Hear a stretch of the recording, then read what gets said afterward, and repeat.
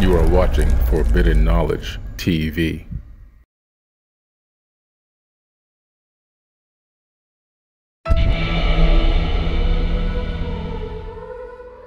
Newly released data from a European satellite has revealed the tectonic underworld below the frozen southernmost continent.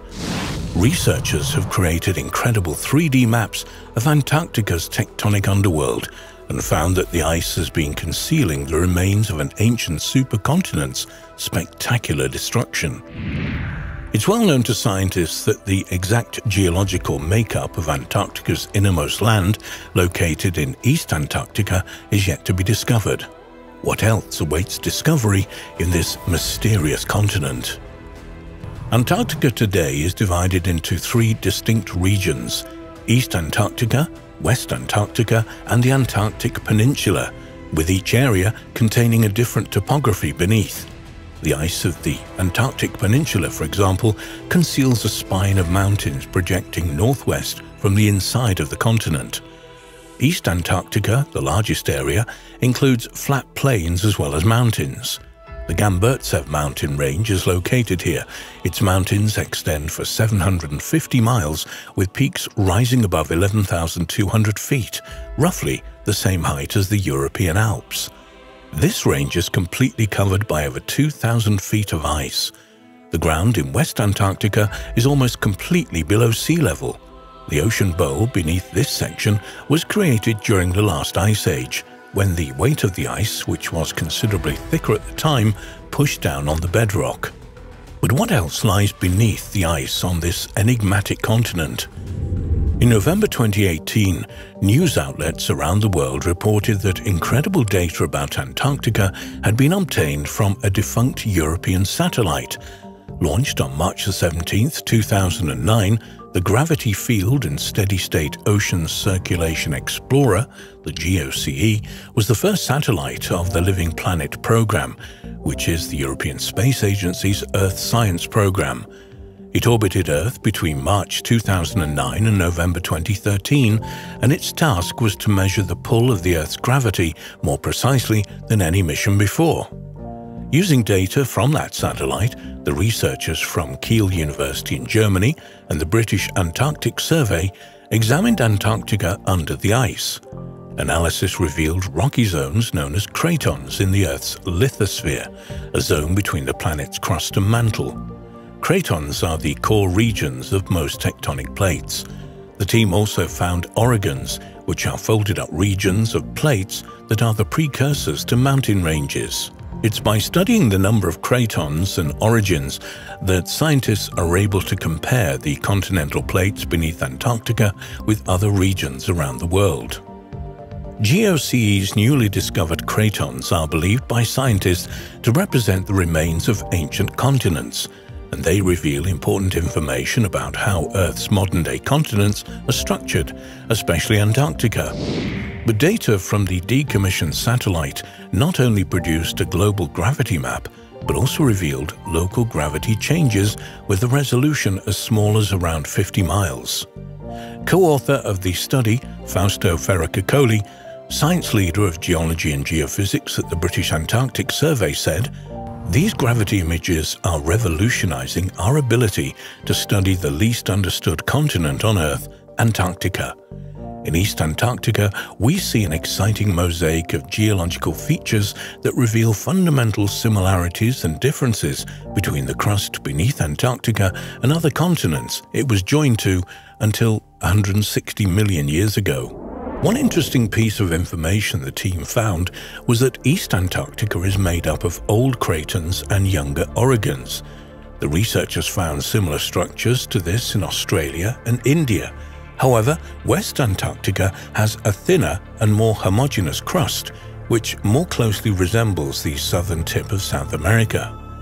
The gravity map the team assembled from the data reveals that East Antarctica is made up of multiple cratons, which are the cores of long-lost continents. The scientists used data from other satellites to essentially strip Antarctica of its vast layers of ice so that they were able to focus on the bedrock beneath. When they examined this layer, the team found evidence of the continent's history as part of Gondwana, a supercontinent made of the modern southern hemisphere continents. The matching shapes of the coastlines of Western Africa and Eastern South America were first officially noted by Francis Bacon in 1620, at a time when Africa and the New World first became available to study. But the idea that not all the continents of the Southern Hemisphere were once joined in one great supercontinent was not put forward in detail until hundreds of years later. In 1912, by German meteorologist and pioneer of polar research Alfred Wegener, He's remembered today as the originator of continental drift theory, which he put forward in 1912, suggesting that the continents are slowly drifting around the Earth. But Wegener also convinced that all of the Earth's continents were once part of a single great landmass, which he called Pangaea. Its name is derived from the Greek Pangaea, meaning all the Earth. Wegener proposed that Pangaea existed about 240 million years ago but by about 200 million years ago it began breaking up. Over millions of years, Pangaea eventually separated into pieces that gradually moved away from one another. These pieces slowly formed the continents we recognize today. Nowadays, scientists believe that several supercontinents like Pangaea have formed and broken up over the course of the Earth's history. These include Pannotia, which formed about 600 million years ago, and Rodinia, a supercontinent that assembled around 1 billion years ago and broke up 750 to 633 million years ago. In terms of Wegener's Pangaea, Gondwana comprised the southern half of this supercontinent. According to plate tectonic evidence, the supercontinent of Gondwana was assembled by continental collisions in the late Precambrian, about 1 billion to 542 million years ago, and broke up around 180 million years ago.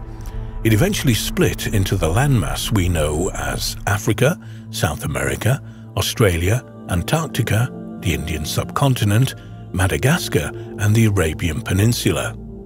Even though the continent existed many millions of years ago, some paranormal researchers have put forward the idea that Gondwana may have been the original model for the lost continent of Atlantis, with the knowledge of existence somehow being passed down through the ages. Gondwana's formed into its final shape about 500 million years ago, by this time, primitive multicellular organisms had evolved, as revealed by the rare fossils left from this period, which include segmented worms, frond-like organisms and round creatures similar to modern jellyfish. When Gondwana represented Earth's southerly supercontinent, the planet was a lot warmer than today, and crucially, there was no Antarctic ice sheet. It was also a time, the Jurassic period, when dinosaurs still roamed the Earth and huge areas of Gondwana were covered with lush rainforest. The first stage of the breakup of the subcontinent began in the early Jurassic period about 180 million years ago. This new information contained in this gravity map gives scientists more knowledge about how the Antarctic continent was formed but perhaps just as importantly, it tells scientists what will happen to it in the future. Antarctica is melting at a fairly rapid rate, and being aware of its underlying structure can tell us how this will happen and perhaps how it will eventually recover.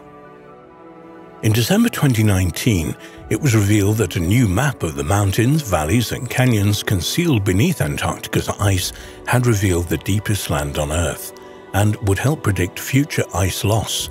The new NASA map, called BedMachine Antarctica, collects together ice movement measurements, seismic measurements, radar and other data points to assemble what is hoped to be the most detailed picture ever of Antarctica's hidden features. According to NASA's website, BedMachine is a new Antarctic bed topography product based on ice thickness data from 19 different research institutes dating back to 1967, encompassing nearly a million line miles of radar soundings. BedMachine relies on the fundamental physics-based method of mass conservation to estimate what lies beneath the radar sounding lines, utilizing highly detailed information on ice flow motion from satellite data that dictates how ice moves. Originally, NASA's bed map was a result of work led by the British Antarctic Survey, where researchers assembled decades worth of geophysical measurements. In operation from 2013, BedMap 2, like the original BedMap, was a collection of three datasets surface elevation, ice thickness, and bedrock topography. One important discovery made by BedMachine Antarctica was of previously unknown topographical features, such as the broad ridges that shield the glaciers flowing across the Transantarctic Mountains, which separate East and West Antarctica. BedMachine also discovered the world's deepest land canyon below Denman Glacier in East Antarctica, an astonishing 11,000 feet below sea level. As a comparison, the lowest exposed region of land on the Earth is the Dead Sea, which sits a mere 1,419 feet below sea level. The new NASA map is a vital resource that will help scientists predict exactly which areas of Antarctica are at highest risk of sliding into the ocean in the next few decades or even centuries, and which parts might in fact be more stable than previously thought. Who knows what else such Antarctica mapping projects might turn up in the future.